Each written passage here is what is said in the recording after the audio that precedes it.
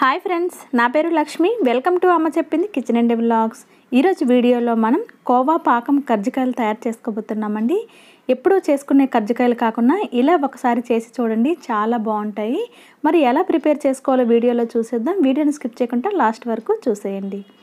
ముందుగా నేను ఒక బౌల్ తీసుకున్నాను. ఇందులో ఒకటిన్నర కప్పు వరకు మైదా తీసుకుంటున్నాను. ఇందులో త్రీ టేబుల్ స్పూన్ వరకు నెయ్యి వేసుకుందాం. మీరు డాల్డా అయినా వేసుకోవచ్చు లేదంటే ఆయిల్ వేడి చేసి ఆయిల్ అయినా వేసుకోవచ్చు. ఇలా త్రీ టేబుల్ స్పూన్ వరకు నెయ్యి వేసుకున్నాం కదా. ఇప్పుడు టూ టేబుల్ స్పూన్ వరకు పెరుగు వేస్తున్నాను. పెరుగు పుల్లగా ఉండకూడదు. ఇప్పుడు కొంచెం సాల్ట్ వేసుకుందాం. ఒక పించప్ సాల్ట్ అయితే సరిపోతుంది. ఎక్కువ వేయకూడదు.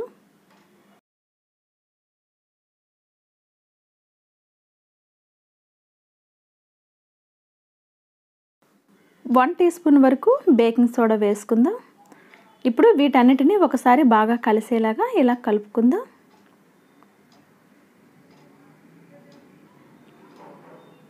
ఇలా మొత్తం అంతా బాగా కలుపుకున్నాం కదా ఇప్పుడు కొంచెం కొంచెంగా పాలు వేసుకుంటూ మనం కలుపుకుందాం. పిండి అనేది మరి సాఫ్ట్గా కలపకూడదు. ఇలా కొంచెం కొంచెంగా పాలు వేసుకుంటూ నేను ఈ విధంగా ముద్ద కలిపాను. చూడండి ఈ విధంగా ఉంటే మనకి సరిపోతుంది. ఇలా ఉండాలి. ఇప్పుడు దీనికి పైనుంచి కొంచెం ఆయిల్ అయినా లేదా నెయ్యి అయినా ఇలా పైనుంచి ఇలా అప్లై చేసి మూత పెట్టి దీన్ని పక్కన పెట్టేసుకుందాం. మిగతా ప్రాసెస్ అనేది చూసేద్దాం. స్టవ్ మీద ప్యాన్ పెట్టి ఇందులో వన్ టేబుల్ స్పూన్ వరకు బటర్ వేసాను. బటర్ కొంచెం మెల్ట్ అయింది కదా ఇందులో కొంచెం చాలా చిన్న కప్ అండి ఇది కప్పుతో వన్ కప్ వరకు పాలు వేస్తున్నాను. ఇప్పుడు ఇందులో మిల్క్ పౌడర్ వేసుకుందాం. నేను త్రీ హండ్రెడ్ గ్రామ్స్ వరకు మిల్క్ పౌడర్ వేస్తున్నాను. ఇప్పుడు ఇదంతా దగ్గరికి ముద్దలు అయ్యేంత వరకు ఇలా కలుపుతూ ఉడికించుకుందాం. ఉండలేమీ లేకుండా ఇలా కలుపుతూ ఉండాలి. స్టవ్ మీడియం ఫ్లేమ్లో పెట్టుకోవాలి. ఇప్పుడు ఇందులో పంచదార పొడి వేసుకుందాం టూ టేబుల్ స్పూన్ వరకు వేసుకుందాం. మనకు ఆల్రెడీ మిల్క్ పౌడర్ స్వీట్గా ఉంటుంది కాబట్టి కొంచెం పంచదార పొడి వేసుకుంటే సరిపోతుంది. పంచదార పొడి అంతా ఇందులో బాగా కలిసింది కదా ఇప్పుడు మనం ఇందులో కట్ చేసి పెట్టుకున్న డ్రై ఫ్రూట్స్ వేసుకుందాం. నేను జీడిపప్పు బాదం కిస్మిస్ తీసుకున్నాను. మీ దగ్గర ఏ డ్రై ఫ్రూట్స్ ఉన్నా వేసుకోవచ్చు. ఇప్పుడు ఇవన్నీ ఒకసారి బాగా కలుపుకొని మనం ఈ స్టేజ్లో మనం స్టవ్ ఆఫ్ చేసుకుంటే సరిపోతుంది. చల్లారే వరకు ఇది ఇంకా మనకి ముద్దలా అయిపోతుంది కదా. ఇప్పుడు దీన్ని పక్కన పెట్టేసుకుందాం. ఇప్పుడు మనం ముందుగా పిండి కలిపి పెట్టుకున్నాం కదా ఈ ముద్దను చూద్దాం. బాగా నానిందండి. ఇందులో కొంచెం చిన్న ముద్దను తీసుకొని మనం చపాతీలా చేసుకుందాం. మీకు చపాతీ చేసేటప్పుడు అవసరమైతే కొంచెం మైదా జల్లుకుంటూ చేయండి. నాకైతే అవసరం లేదు. దీన్ని ఇలాగే నేను చపాతీలా చేసేస్తాను.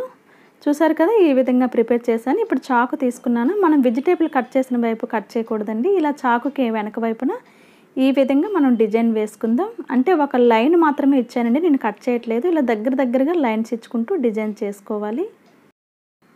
నేను కట్ చేయట్లేదండి. ఓన్లీ లైన్స్ ఇలా మార్కింగ్ చేస్తున్నాను అంతే. మనకి ఒక డిజైన్ అనేది వస్తుంది. ఇప్పుడు మళ్ళీ దీన్ని ఇలా రివర్స్ చేసుకున్న తర్వాత ఇటు సైడ్ కూడా మళ్ళీ అదే విధంగా లైన్స్ ఇచ్చుకోవాలి.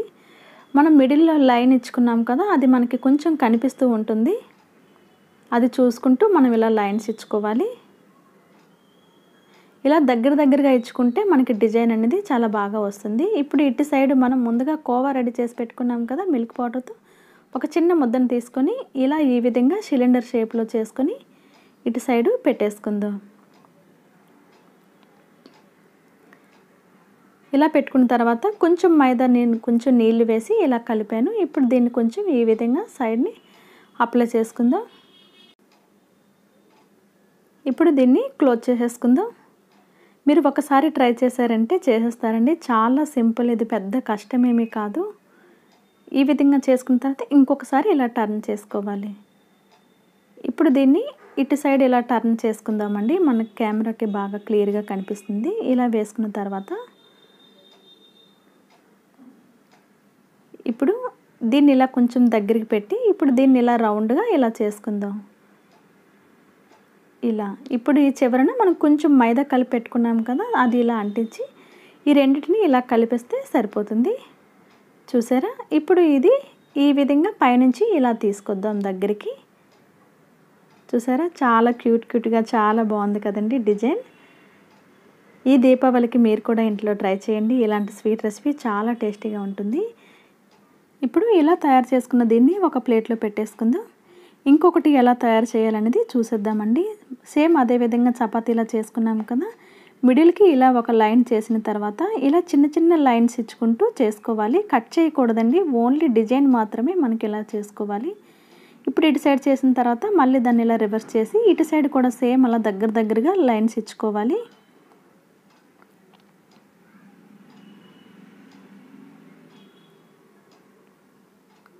ఇదే విధంగా నేను మొత్తం ఇలా లైన్స్ ఇచ్చేసాను కదా. ఇప్పుడు మనం ముందుగా కోవా రెడీ చేసి పెట్టుకున్నాం కదా. అది చిన్న ముద్దను తీసి ఇలా ఈ విధంగా చేసి ఇటు సైడ్ పెట్టేసుకుందాం. ఇప్పుడు మనం పిండి మైదా కలిపి పెట్టుకున్నాం కదా. దాన్ని కొంచెం ఈ విధంగా అప్లై చేసుకుందాం. ఇప్పుడు ఈ విధంగా క్లోజ్ చేసేసుకుందాం. ఇలా ఒకసారి వేసిన తర్వాత ఇంకొకసారి ఇలా టర్న్ చేసి ఇప్పుడు దీన్ని మనం ఇటు సైడ్కి టర్న్ చేసుకుందామండి. ఇలా ఈ విధంగా.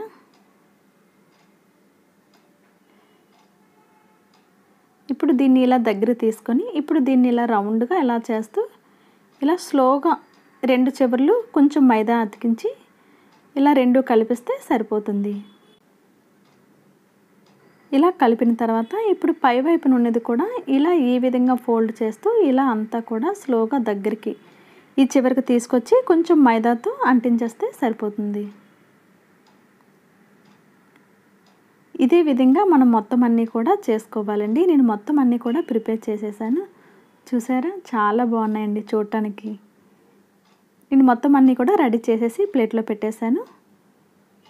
ఇప్పుడు మనం వీటిని పక్కన పెట్టేసి మనం పంచదార పాకం రెడీ చేసుకుందాం. దానికోసం నేను స్టవ్ మీద ప్యాన్ పెట్టాను. ఇందులో నేను త్రీ హండ్రెడ్ గ్రామ్స్ వరకు పంచదార వేస్తున్నాను. పావు కప్పు వరకు వాటర్ వేసాను. ఇప్పుడు రెండింటిని మనం బాగా కలుపుతూ పాకం వచ్చేంత వరకు మరిగించుకుందాం. మనకి పాకం బాగా ఏం అవసరం లేదండి. చిన్న తీగ పాకం వస్తే సరిపోతుంది. పంచదార అంతా బాగా కరిగి కొంచెం లైట్గా వస్తే సరిపోతుంది. ఇప్పుడు పంచదార అంతా బాగా కరిగి మరిగిందండి. నేను రెండు యాలకులు చెదక్కొట్టి ఇలా వేసాను. ఇప్పుడు మనకి పాకం వచ్చిందండి. ఒకసారి మనం చూద్దాం. చూసారా? ఇలా కొంచెం లైట్గా ఈ విధంగా అతుక్కుంటూ ఈ విధంగా చిన్న తీగ పాకం వస్తే సరిపోతుంది. ఇప్పుడు స్టవ్ ఆఫ్ చేసి దీన్ని పక్కన పెట్టేసుకుందాం. ఇప్పుడు స్టవ్ మీద డీప్ ఫ్రైకి ఆయిల్ పెట్టాను. ఆయిల్ కూడా హీట్ అయిందండి. మనం ముందుగా రెడీ చేసి పెట్టుకున్నాం కదా వాటిని వేసేసుకుందాం. ఆయిల్ బాగా వేడిగా ఉండకూడదండి. నార్మల్ వేడి ఉంటే సరిపోతుంది. వేసిన తర్వాత స్టవ్ మీడియం ఫ్లేమ్లో పెట్టుకుంటూ వీటిని ఫ్రై చేసుకోవాలి. ఇలా ఒక్కొక్కటిగా స్లోగా వేసేస్తున్నాను.